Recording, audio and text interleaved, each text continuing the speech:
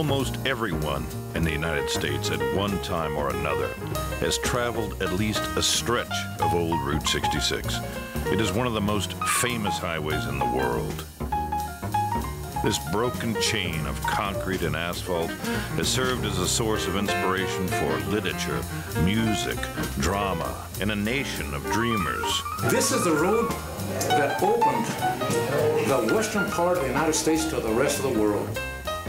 In all, it moved across more than 2,400 miles, three time zones, and eight states, touching the very heart of America it would become one of the very first continuous spans of paved highway linking the East and West. It put us in touch with one another through its necklace of neon lights, Burma shave signs, curio shops, and motor courts. Just the name conjures up images of going somewhere. Those of us who truly love Route 66 prefer life on the Mother Road. We get off the turnpikes and interstates, slip onto Route 66, and return to the way America used to be.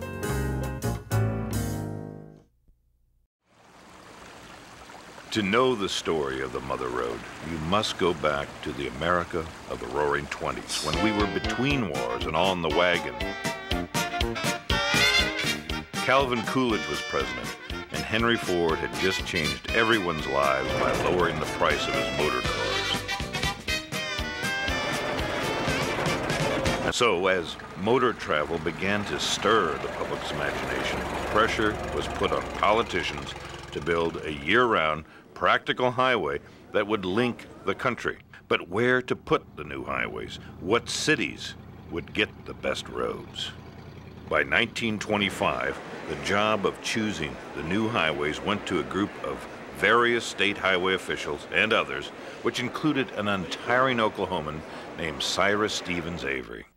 Avery would eventually become known as the father of Route 66 for his dogged persistence in establishing what he felt was the perfect route joining the East and the West.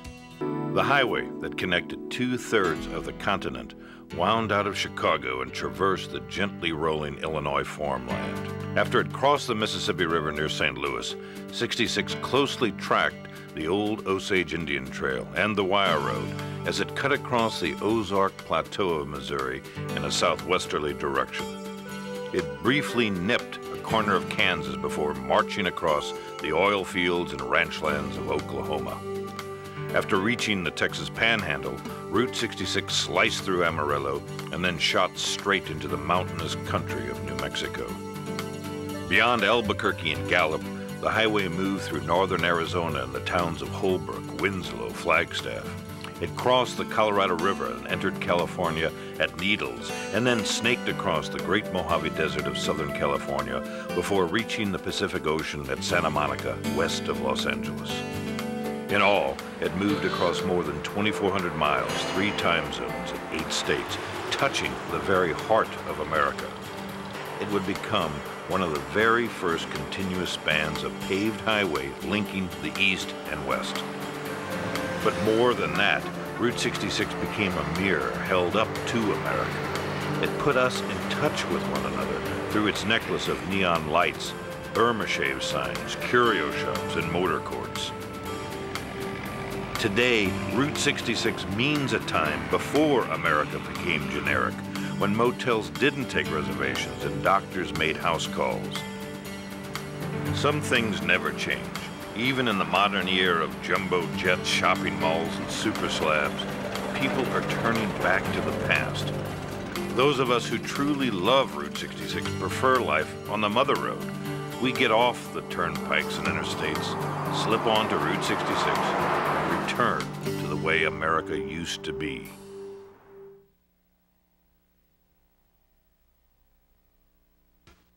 Route 66 is only an unimproved two-lane with no curb and no shoulder as it cuts into Kansas, the third of eight states it will cross on its way to the Pacific shore.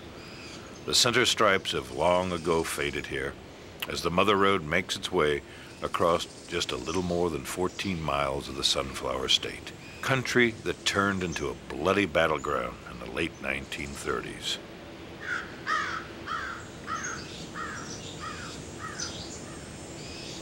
There are no monuments or markers here on this road on Route 66 in Kansas today. There's nothing to tell us about what happened here back in the turbulent 30s when this was bloody 66.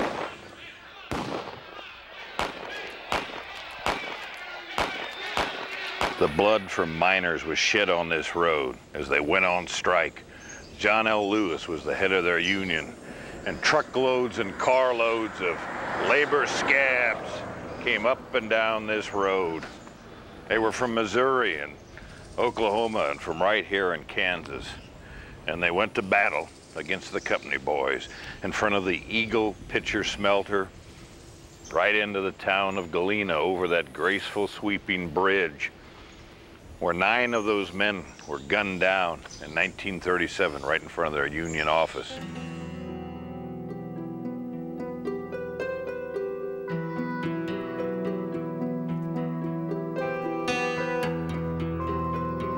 It was a terrible, terrible time, time that we shouldn't forget. So maybe we don't need the official marker or the monument. Maybe the monument's here after all right there in that two-lane asphalt road, Route 66.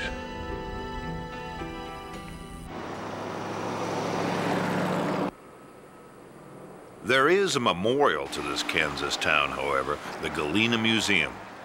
The old train depot was moved to the edge of the highway, and Howard Litch and other local citizens began preserving memories of the old mines and the well-used highway the town still loves. These memories are their monument to 66.